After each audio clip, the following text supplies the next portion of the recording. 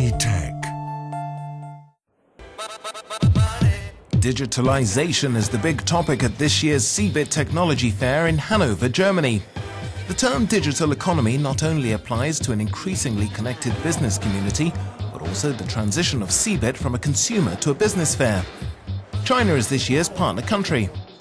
A traditional German agricultural company is putting a digital spin on farming machinery, this smart tractor from Claas comes with intelligent navigation and obstacle detection which can help farmers manage their crops more effectively.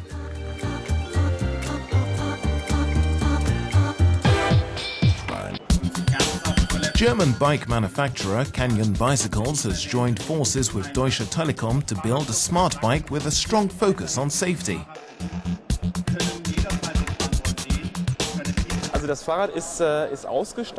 The bicycle is equipped with a so-called onboard unit, a small device which is built into the bicycle frame here. With this onboard unit, we can basically make bicycle maintenance and riding a lot easier for the consumer. By using a smartphone application, we can see the extent of wear and tear on the bicycle chain, for example.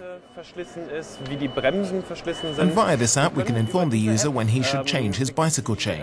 Er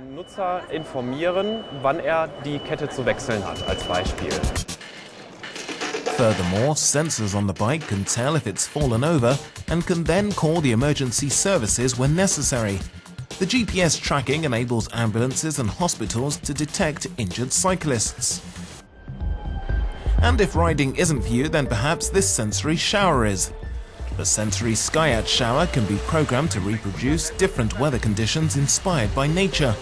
Imagine showering in the rainforest from the comfort of your own bathroom, and it can be controlled by the touch of a button.